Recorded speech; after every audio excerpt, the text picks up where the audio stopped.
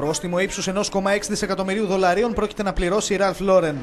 Σύμφωνα με τις Αμερικανικές Αρχές, η εταιρεία παραδέχθηκε ότι δωροδοκούσε τελωνιακούς στην Αργεντινή για να επιταχύνει τον εκτελονισμό προϊόντων της στη λατινοαμερικανική χώρα. Οι δωροδοκίες γίνονταν είτε με είδη της Ραλφ Λόρεν είτε με μετρητά, τα οποία τιμολογούνταν ως έξοδα εκφόρτωσης και παράδοσης ή ως φόρος φραγίδας. Από την πλευρά τους, πάντως, οι αρχές της Αργεντινής ζητούν από τις αντίστοιχες Αμερικανικές συγκεκριμένες αποδείξεις για την τέλεση των αδικημάτων.